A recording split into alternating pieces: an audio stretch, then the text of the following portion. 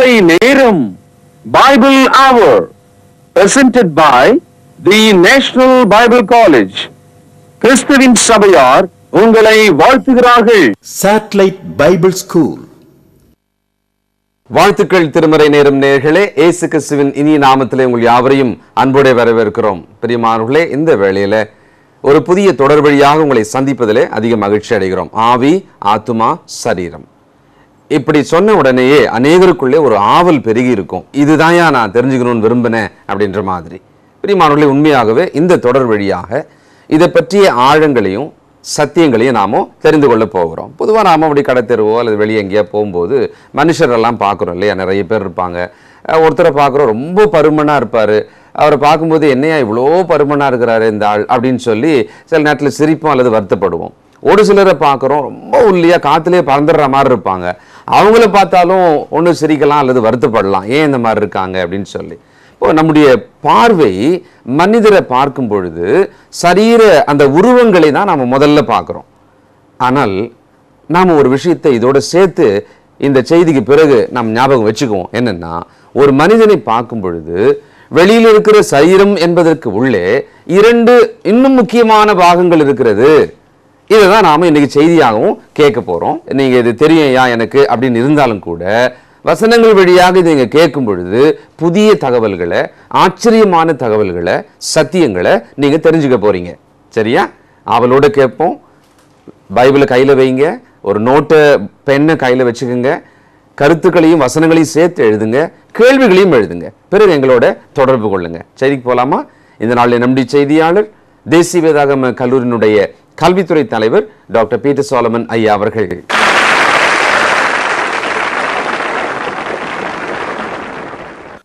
வணக்கம் திருமலை நேர நேயர்களே.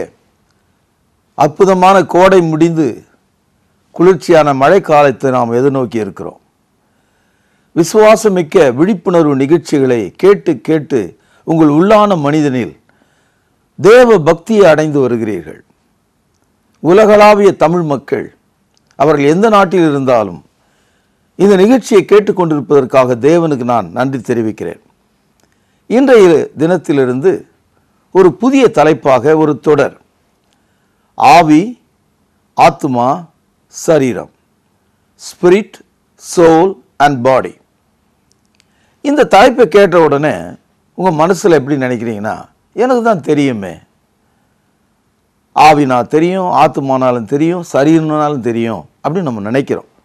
நான் கூட அப்படி தான் நினைக்கிறேன்.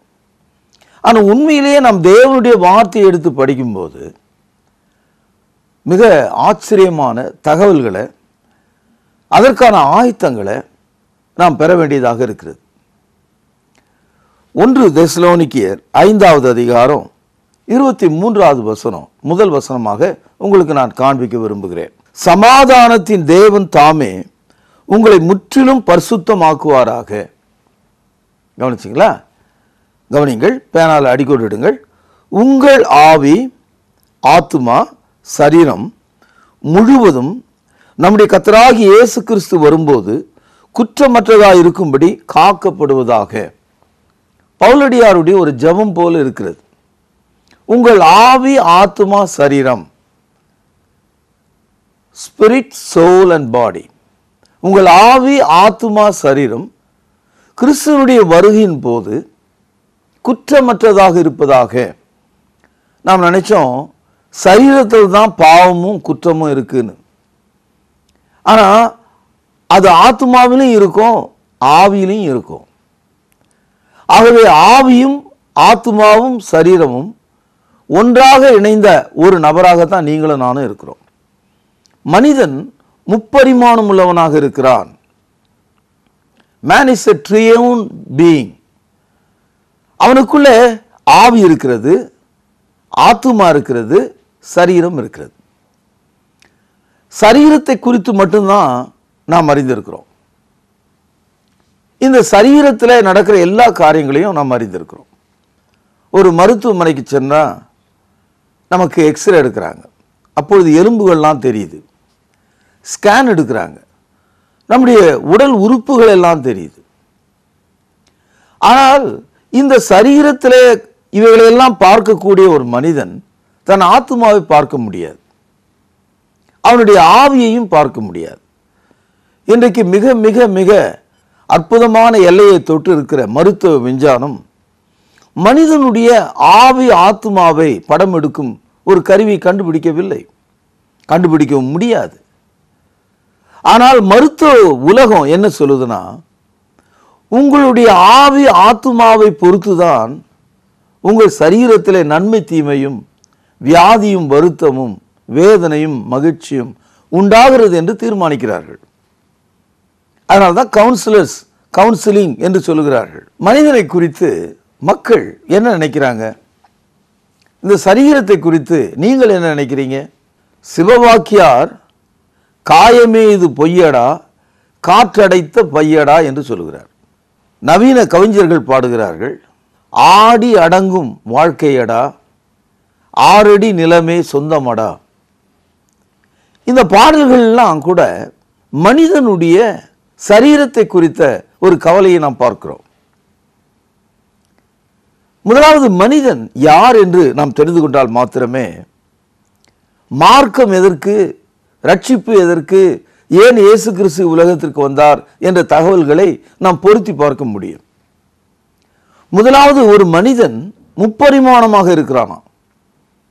வெளித்தோற்றம் சரீரமாகவும் அகத்தோற்றம் ஆத்துமாவாகவும் உயிர் தோற்றம் உயிராகவும் ஆவியாகவும் இருக்கிறதாக நாம் பார்க்கிறோம். ஆகவே ஒன்று திசலோனிக்கர் ஐந்தாம் அதிகாரம் இருபத்தி மூன்றாவது வசனத்திலே உங்கள் ஆவி உங்கள் ஆத்துமா உங்கள் சரீரம்.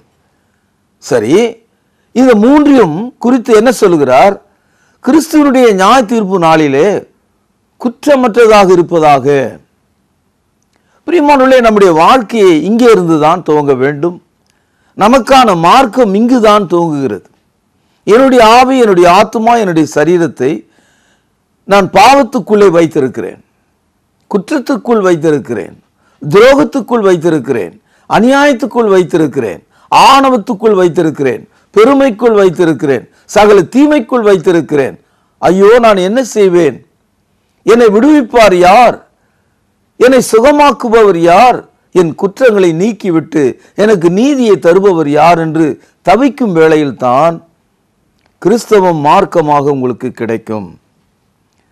இந்த மனிதன் என்ற நம்முடைய தன்மையே நம்ம புரிஞ்சுக்காம ஒரு மேதைகளைப் போல மத விஷயங்களை நம்ம பேசுகிறோம் அதாவது நமக்கு நாமே யாருன்னு தெரிஞ்சுக்காம ஆனால் மேலே இருக்கிற அநேக விஷயங்களை மேலெழுந்த வாரியாக எல்லா விஷயங்களையும் நம்ம பேசுகிறோம் தாவி அபிஷேகம் வல்லமைகள் வரங்கள் எல்லாம் பேசுகிறோம் முதல்ல நீ யாரு? நீ எப்படி இருக்கிறாய்? எதற்காக இந்த உலகத்தில் இருக்கிறாய்? இந்த கேள்விகளுக்கெல்லாம் நம்ம பதில் கண்டுபிடிக்க வேண்டும். ஏசையா நாற்பத்தி மூன்றாவது அதிகாரம் ஏழாவது வசனம். இந்த வசனத்தில் ஒரு அற்புதமான செய்தி நீங்கள் பார்க்கலாம். நான் என் மகிமைக்கென்று சிருஷ்டித்து உருவாக்கி படைத்து என் நாமம் தரிப்பிக்கப்பட்ட யாவரையும் கொண்டு வர வேண்டும். இந்த வசனத்தில் தேவன் மனிதனை ஏன் உண்டாக்கினார்? ஏன் சிருஷ்டித்தார்? ஏன் படைத்தார்? இந்த கேள்விகளுக்கு ஒரு பதில் இருக்கிறது. அந்த பதில் என்னவா? தேவனுடைய நாமத்திற்கு மகிமை உண்டாகும்படி மனிதன் படைக்கப்பட்டிருக்கிறான் for the glory of God man was created அதனால தான் நம்ம ஊரில் இப்படி சொல்கிறாங்க படைப்பெல்லாம் படைத்தான் மனுஷனுக்காக. மனுஷனை படைத்தான் தன்னுடைய மகிமைக்காக. நண்பர்களே மனிதன் தேவனுடைய மகிமைக்காக அவருடைய நாமம் புகழ்ச்சி பெறும்படியாக சிருஷ்டிக்கப்பட்டான். ஆதியா முதலாம் அதிகாரத்தில் இரண்டாம் அதிகாரத்தில் மனிதனை குறித்து நாம் படிக்கும்போது மனிதனை தேவன் படைப்பதற்கான ஒரு நோக்கம் அங்கே சொல்லப்படவில்லை. ஆனால் தீர்க்கதரிசியாக ஏசையா சொல்லுகிறார் தேவனுடைய நாமம் மகிமைப்படும்படியாக மனிதன் உண்டாக்கப்பட்டிருக்கிறான். இப்ரேயர் இரண்டாம் அதிகாரம் ஆறு முதல் ஒரு சில பகுதியை நான் வாசிக்கிறேன் கவனியுங்கள். ஒரு இடத்துல ஒருவன் சாட்சியாக மனுஷனை நீர் நினைக்கிறதற்கும் மனுஷனுடைய குமாரனை நீர் விசாரிக்கிறதற்கும் அவன் எம்மாத்திரம்.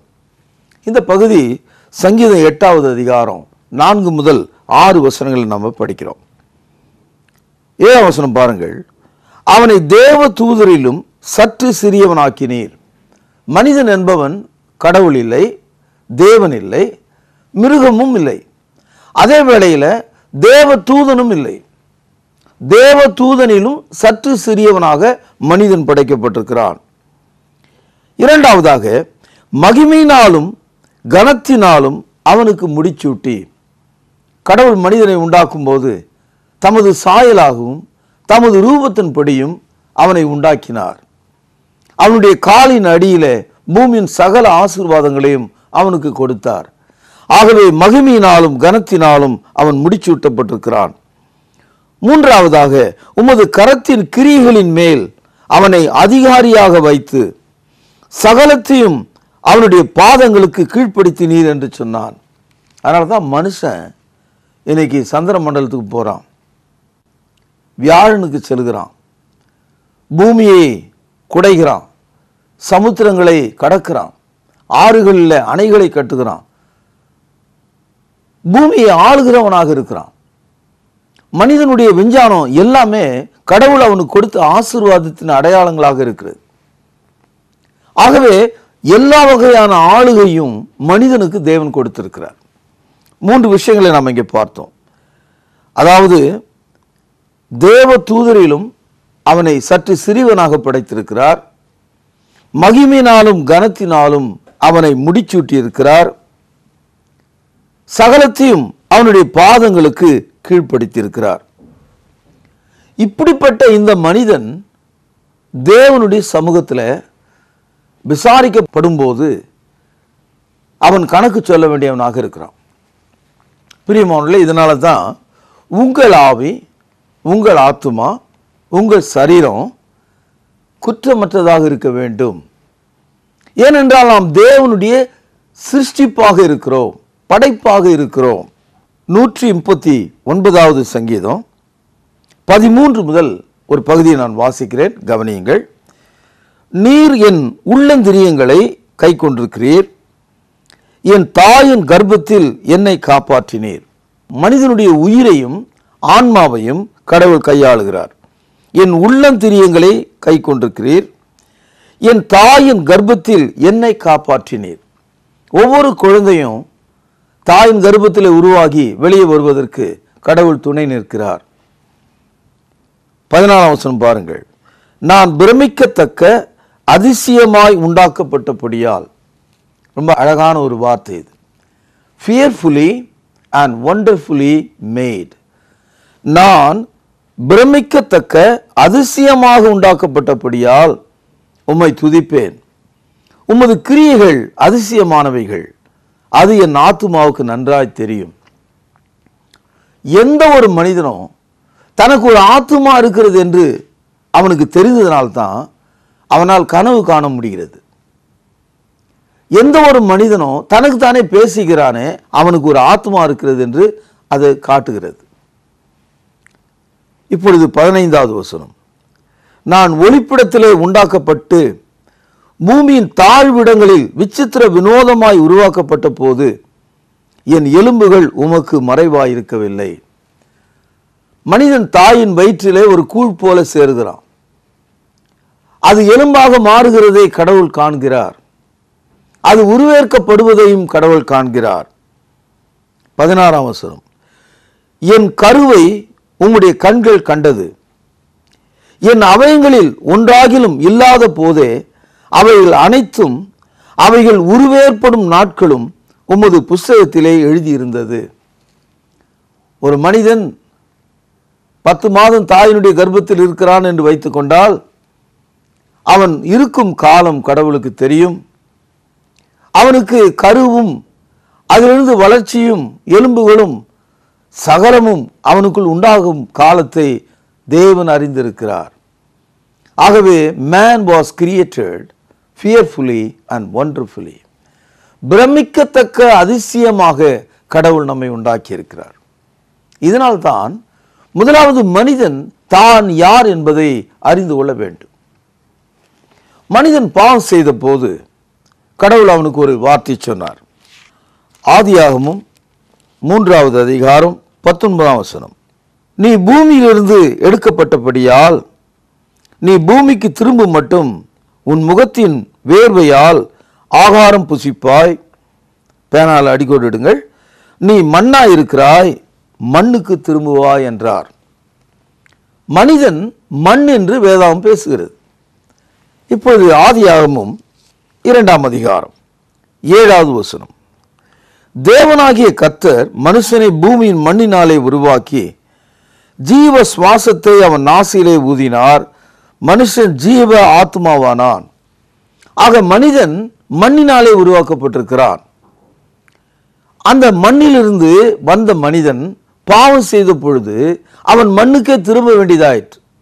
அதனால தான் ஒரு ஆள் இறந்து போனா அவனை மண்ணிலே புதைத்து விடுகிறோம். ஒரு ஆறு மாதத்துக்கு பிறகு அந்த குழியை நாம் தோண்டி பார்க்கும்போது அவன் முழுவதும் மண்ணாக மாறி இருக்கிறதை நாம் பார்க்கிறோம். பிரிமானவர்களே மனிதன் மண்ணாக மாறி போவதை இன்றைக்கு நாம் கண்கூடாக பார்க்கிறோம். இல்லை இல்லை நான் நம்பலை. எந்த மனுஷனும் செத்த பிறகு இங்கே தான் இருக்கிறான் அப்படின்னு நீங்கள் நினைக்காதீங்க. அவன் மண்ணாக மாறுகிறான். சங்கீதம் நூற்றி மூன்று பதினாலாவது வசனம். பேனால முழுக்க வட்டமிடுங்கள். நம்முடைய உருவம் இன்னதென்று அவர் அறிவார். நாம் மண் என்று நினைவு கூறுகிறார். கவனிச்சிங்களா? ஒவ்வொரு மனிதனுக்கும் ஒரு உருவம் இருக்குது ஒரு தோற்றம் இருக்குது ஒரு அடையாளம் இருக்குது அதனால தான் உலகத்தில் இன்னைக்கு எழுநூறு கோடி பேர் இருந்தாலும் எல்லா மனிதர்களுக்குள்ளும் ஒரு சிறு வித்தியாசங்களை நம்ம பார்க்குறோம். நம்முடைய உருவம் இன்னதென்று அவர் அறிந்திருக்கிறாராம். அது மாத்திரம் இல்லை ஆதாம் முதற்கொண்டு எல்லா மனிதர்களும் மண் என்று தேவன் நினைவு கூறுகிறார். பதினைந்தாம் வசனம் மனுஷனுடைய நாட்கள் புல்லுக்கு ஒப்பாக இருக்கிறது. வெளியின் புஷ்பத்தைப் போல பூக்கிறான். காற்று அதன் மேல் வீசின உடனே அது இல்லாமல் போயிற்று. அது இருந்த இடமும் இனி அதை அறியாது. ஆகவே மனுஷனுடைய நாட்கள் புல்லின் பூவைப் போலவும் அது காய்ந்து காணாமல் போவதைப் போலவும் இருக்கிறதாம். பிரியமானுல இந்த மனிதன் தேவனை தெரிந்து கொள்ளும்போது இந்த மண் தேவனை தெரிந்து கொள்ளும்போது தன்னுடைய சிருஷிகரை தெரிந்து கொள்ளும்போது எப்படி கன்றானது தன்னுடைய தாயை அந்த பசுவை தெரிந்து கொள்கிறதோ அதுபோல மனிதர்களாகிய நீங்களும் நானும் ஜீவனுள்ள தேவனை நம்மை படைத்த பிரஜாபதியை தெரிந்து கொள்ளும்போது நாம் தேவனுக்கு நாம் நன்றி செலுத்தலாம். சங்கீதம் முப்பது எட்டாவது வசனம். நான் குழியில் இறங்குகையில் என் இரத்தத்தால் என்ன லாபம் உண்டு? புழுதி உம்மை துதித்து உமது சத்தியத்தை அறிவிக்குமோ? இந்த சங்கீதம் நமக்கு ஒரு டேர்னிங் பாயிண்ட் மாதிரி. அதாவது மனிதன் மண்ணிலிருந்து உருவாக்கப்பட்டிருக்கிறான். தேவன் அவனுடைய உருவத்தையும் அவன் மண்ணாக இருக்கிறான் என்பதையும் நினைவு கூறுகிறார். ஆனால் அதே மனிதன் அந்த மண்ணாக இருக்கிற அந்த மனிதன் தன்னுடைய வாழ்நாள் காலத்தில் தான் யார் எங்கிருந்து வந்தேன் என்ற தகவலை தெரிந்து கொள்ளும்போது தன்னை படைத்தவரை பற்றிய சத்தியத்தை தெரிந்து கொள்ளும்போது தேவனை துதிக்கிற ஒரு மனிதனாக மாறுகிறான். தேவனை மகிமைப்படுத்துகிறவனாக மாறுகிறான்.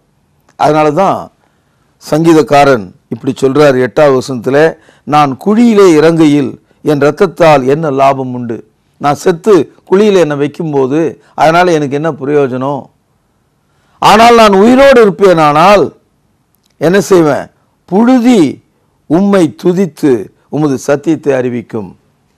நான் மண்ணு தான்யா ஆனால் உம்மை துதிப்பேன் என்று சொல்கிறார் ஒரு இடத்துல மனிதன் மண் என்று பார்த்தோம் ஆனால் குணப்பட்ட மனிதன் தேவனை தெரிந்து கொண்ட மனிதன் ஆவி ஆத்மா சரீரத்தை சரிப்படுத்திக் கொள்ள விரும்புகிற மனிதன் தேவனை துதிக்கிற மனிதனாக மாறிவிடுகிறான்.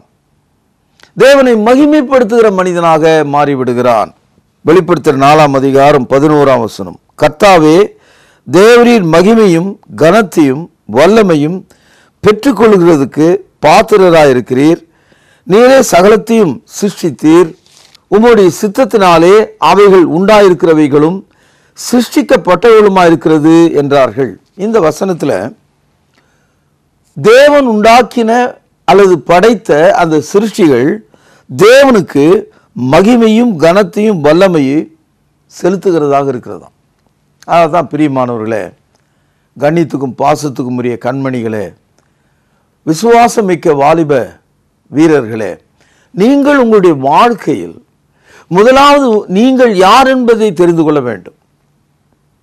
நீங்கள் ஒரு சரீரம் உங்களுக்கு ஒரு ஆத்துமா உங்களுக்குள்ளே ஒரு ஆவி.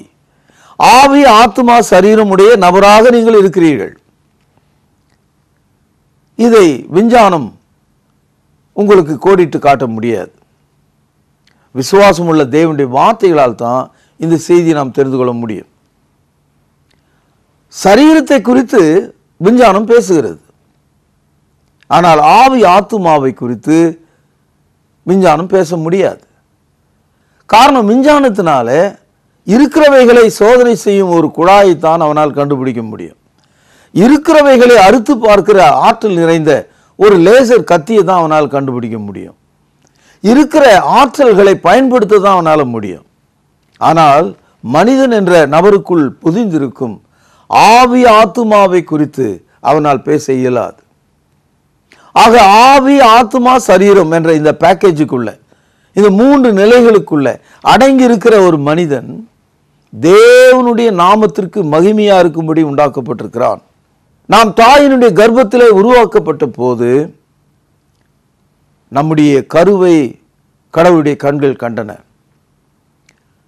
அவைகள் உருவேற்படும் நாட்களும் நம்முடைய எலும்புகளும் அவருடைய பார்வையில் இருக்கிறது. பிரமிக்கப்படத்தக்க அதிசயமாக நாம் உண்டாக்கப்பட்டிருக்கிறோம். ஆகவே இப்பேற்பட்ட ஒரு மனிதன் கடவுளுக்கு முன்பாக வந்து நிற்கும்போது தான் ஒரு ஆவி ஆத்துமா சரீரம் என்று நினைக்கும் போது தேவனுடைய ஆலோசனைகளை அவன் பெற்றுக்கொள்கிறான்.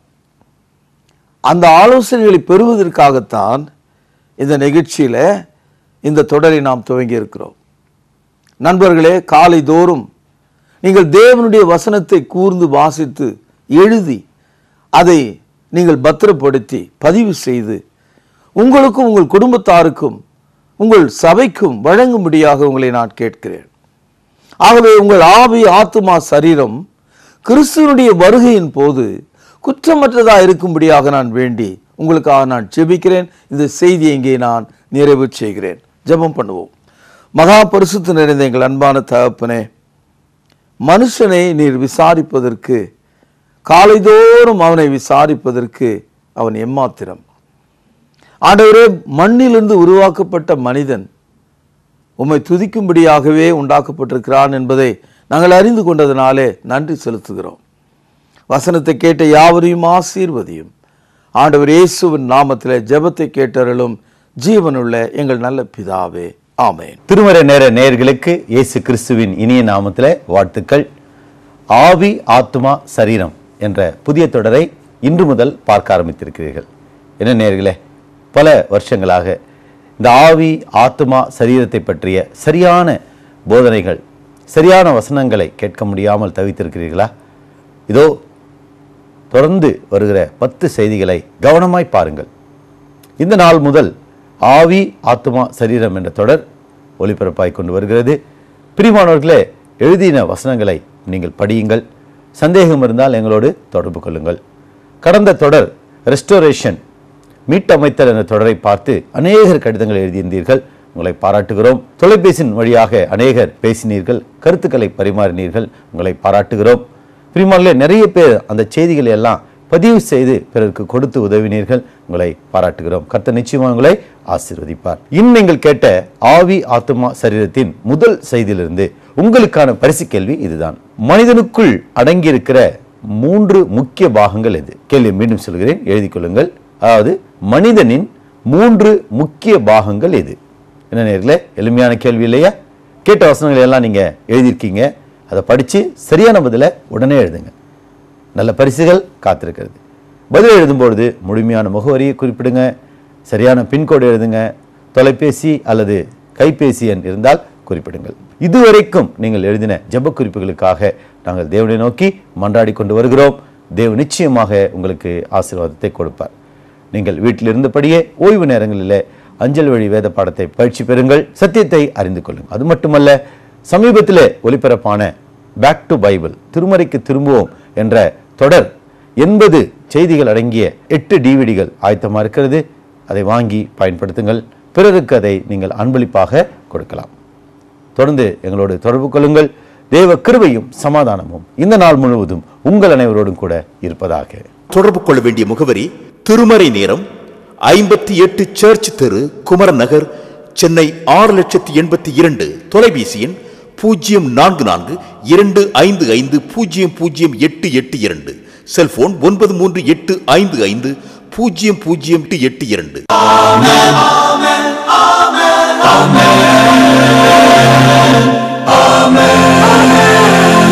Amen.